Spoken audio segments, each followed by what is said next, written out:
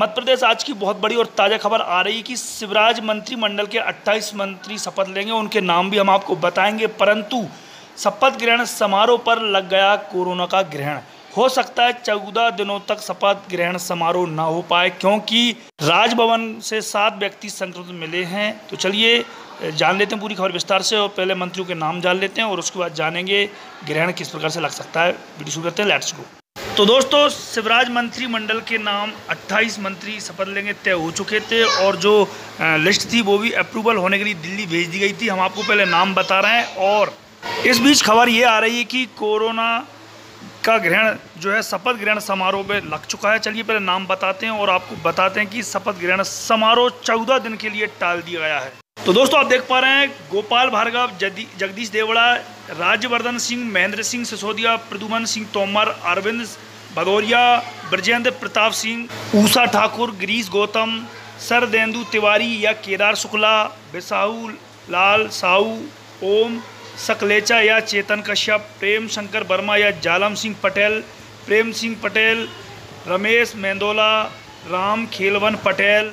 यशोदे, राजेश सिंधिया, एंदल सिंह कंसाना, हरदीप डंग, इमरती देवी, प्रभुराम चौधरी, हरिशंकर खटीकिया, प्रदीप लारिया, अनिल जैन निमाड़ी, मोहन यादव, विश्वास सारंग या रामपाल सिंह, रणवीर जाटव, दिनेश राय, मुनमुन करण सिंह वर्मा। और विधानसभा अध्यक्ष के लिए नागेंद्र सिंह नागोद, उपाध्यक्ष प्रदीप लारिया या पंचूलाल प्रजापत में से। कोरोना के कारण मध्य प्रदेश मंत्रिमंडल विस्तार पर ग्रहण। कोरोना वायरस के कारण मध्य प्रदेश की शिवराज सिंह सरकार के मंत्रिमंडल विस्तार पर ग्रहण लग सकता है। मध्य प्रदेश के राजभवन परिसर में सात लोग कोरोना वायरस के इन्फेक्शन का शिकार पाए गए हैं। इसके बाद राजभवन परिसर क्षेत्र को कंटेनमेंट एरिया घोषित कर दिया है। अगले चौदह दिनों तक ना तो कोई अंदर जा सकता है और ना ही कोई बाहर आ सकता है। ऐसी स्थिति में शपथ ग्रहण समारोह अगले चौदह दिनों के लिए टाला जा सकता है। राज्यपाल का करीबी स्टाफ भी पॉजिटिव।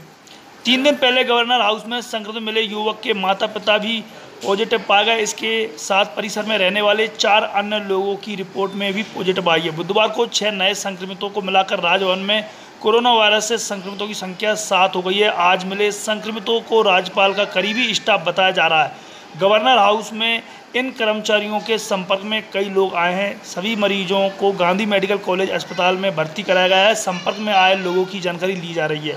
दो नामों पर अटक गया मंत्रिमंडल। इधर मुख्यमंत्री श्री शिवराज सिंह चौहान के मंत्रिमंडल के विस्तार को लेकर भाजपा में बैठकों का दौर जारी है। कयास लगाए जा रहे हैं कि 31 मई तक मंत्रिमंडल का विस्तार हो जाएगा।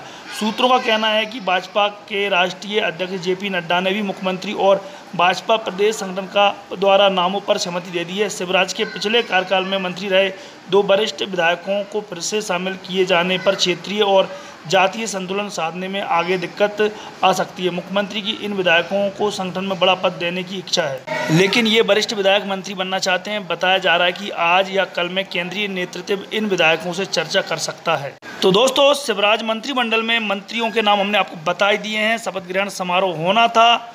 लेकिन जो है, अब कोरोना का ग्रहण लग चुका है। आप देखते हैं कब तक होता है और जो है, मुख्यमंत्री इस पर क्या निर्णय लेते हैं, आप बने रहें। चैनल पर सब्सक्राइब और बेल के आइकन प्रेस करें ताकि आपको लेटेस्ट अपडेट जानकारी मिलती रहे। वीडियो देखने के लिए आपका धन्यवाद।